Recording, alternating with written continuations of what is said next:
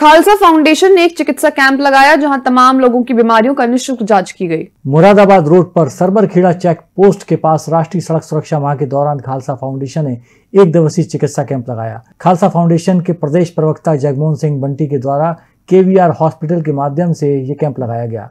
चिकित्सा कैंप में लगभग 150 लोगों की बीमारियों की निःशुल्क जाँच की गई। सेवा निरंतर भाव से खालसा फाउंडेशन लगातार समाज की सेवा कर रही है। उसी उपलक्ष्य में, जैसा कि आपको पता है कि यातायात सुरक्षा माह चल रहा है।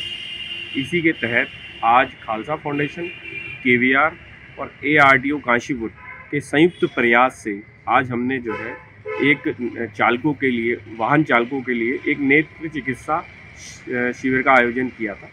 इसमें 125 से लगभग की लोगों की जाँच हुई है, कुछ को दवाइयाँ दी गई हैं और जिनके ऑपरेशन होने हैं उनके फ्री ऑफ़ कॉस्ट ऑपरेशन किए जाएँगे। ये सभी सुविधाएँ के हॉस्पिटल की तरफ़ से की जाएँगी। ए आर टी टी साहब का भी बड़ा सहयोग रहा है इसमें।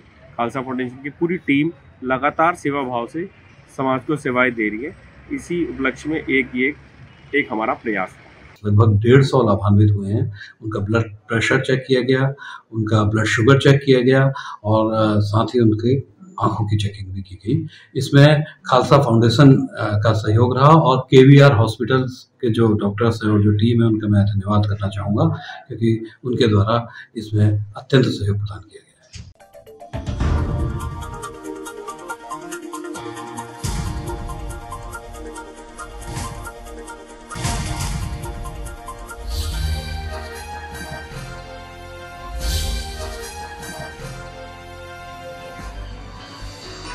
आप देख रहे हैं दखल न्यूज़।